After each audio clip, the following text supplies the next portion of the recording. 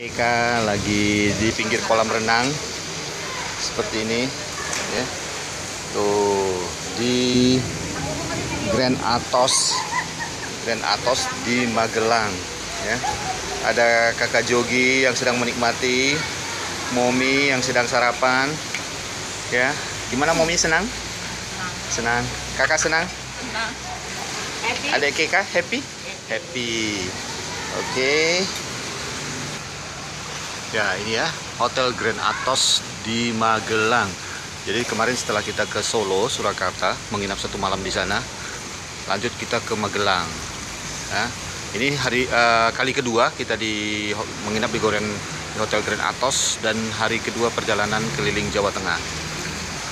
Ya, begini suasananya di sini. Waduh, ramai sekali indah pemandangannya Ya.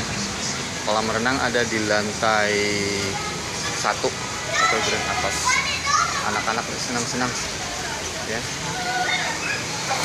Oke